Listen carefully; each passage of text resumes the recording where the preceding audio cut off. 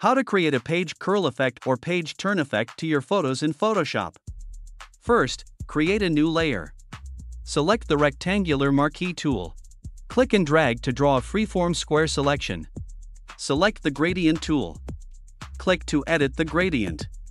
Open the Basics preset folder and choose the black and white. Make sure the linear gradient box is chosen.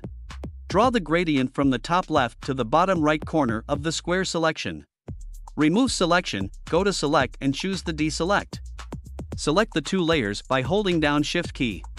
Go to the filter and choose the convert for smart filters.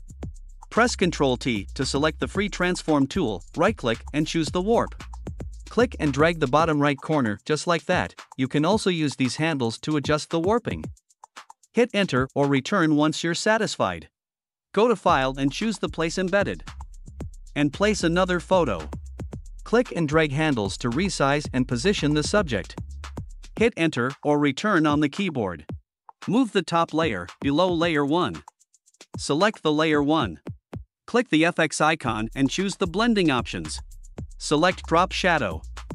Click the shadow color, and the color picker, choose black color. Just copy these settings. When you're done, click OK. And this is the result.